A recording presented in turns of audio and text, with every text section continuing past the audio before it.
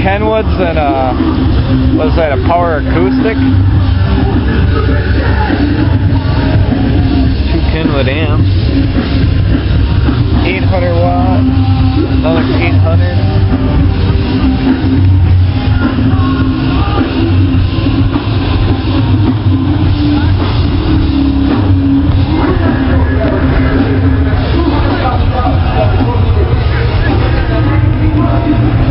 Different.